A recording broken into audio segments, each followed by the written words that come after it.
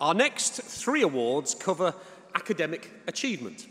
Um, the first is the Windy Notchy Award for the top instructor in the Corps, and I'd like to invite the Right Worshipful Lord Mayor of Westminster, Councillor Ruth Bush, to present this award. Councillor Bush.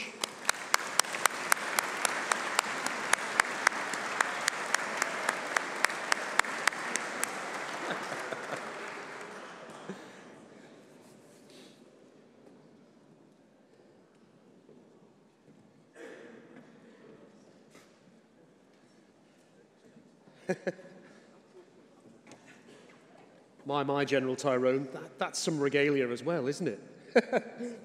Councillor Bush, welcome to the stage. It's lovely to see you. Now, the Windy Notchy Award is given to Corporal Ross Smith, 3 Royal School of Military Engineering Regiment, as the top instructor in the Corps. Please join us.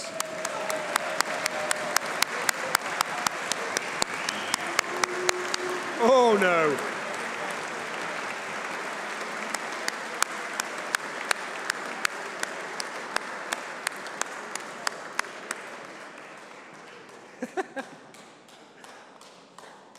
I think his uh, lingering round of applause shows that Corporal Ross Smith is the most well-respected trainer within three Royal School of Military Engineering Regiment.